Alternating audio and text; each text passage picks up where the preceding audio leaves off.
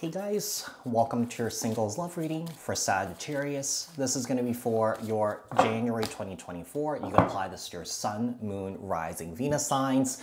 So uh, we're going to take a look and see what's going on with you guys in love, uh, what your blocks and challenges are in love, and then we'll finish off the read to see what else you guys need to know, look out for, work on. Um, if there's anyone new coming into your life, apply this to your own unique situation. Keep in mind that these are general messages. Uh, take what resonates and leave the rest behind. If this message didn't resonate with you, you may take a look at your other placements. Keep in mind that these are collective messages for the collective um, Sagittarius, people not tapping into one specific person's energies in particular. If you're looking for a reading that's tailored specifically to your unique situations and your energies, I suggest you to book a personal reading with me. The link for that is in the description box below. Like, share, comment, subscribe, hit the notification bell so that you guys get notified on when my new videos post and when I go live. Also, if you guys are interested in following me on TikTok and on Instagram, the links for those are in the description box below. If you guys are interested in following me, following me on my new YouTube channel that's dedicated solely to travel, the link for that is also in the description box below. Uh, support me on there too, do all the YouTubey stuff. Okay, so Sagittarius. Single Sagittarius. What's going on with single Sagittarius in love? What are their blocks and challenges in love for January 2023? Sun, Moon, Rising, Venus signs for single Sagittarius. For single Sagittarius. Okay. For single Sagittarius. Let's see.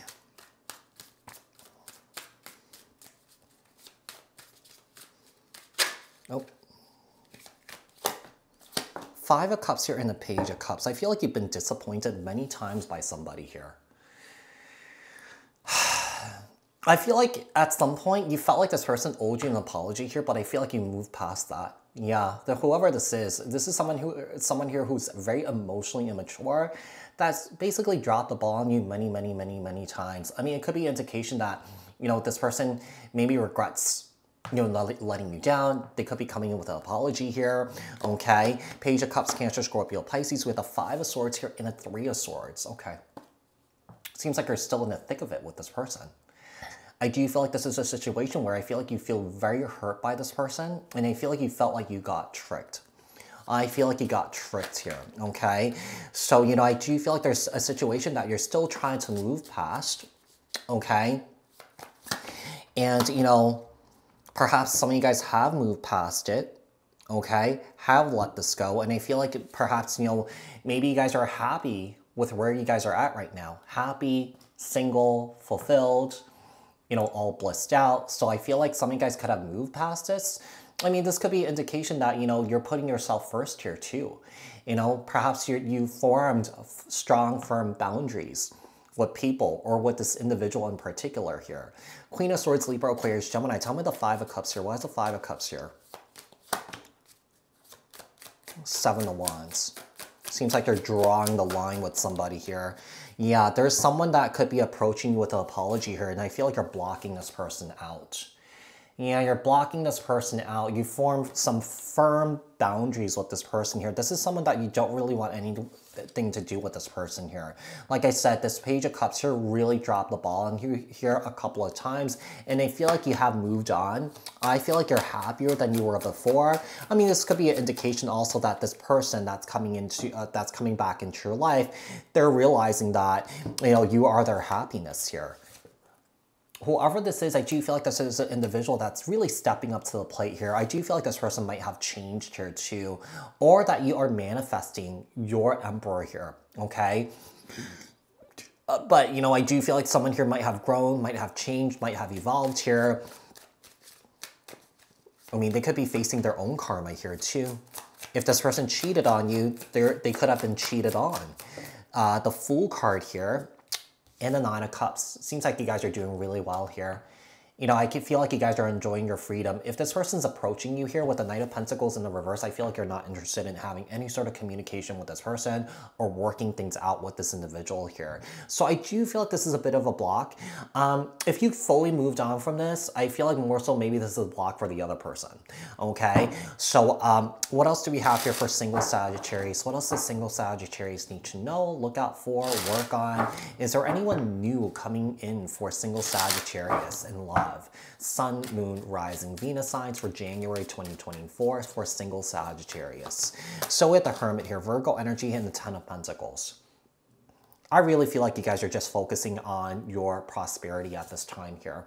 Yeah, I just feel like you guys are doing some soul searching. I just feel like you guys are just kind of like really happy, very blissed out where you guys are at right now. Um, I just feel like, you know, when it comes to love, I feel like you guys are not really ready to take that on yet. You guys are just enjoying your freedom here. Two of Wands and the Eight of Wands here. So two plus eight is 10. I, I, do feel like there's someone from the past that's really stuck on you, that's having a hard time moving on from you here. Yeah, Ten of Wands here and the Two of, yeah. So when it comes to a relationship here, you're not ready for it.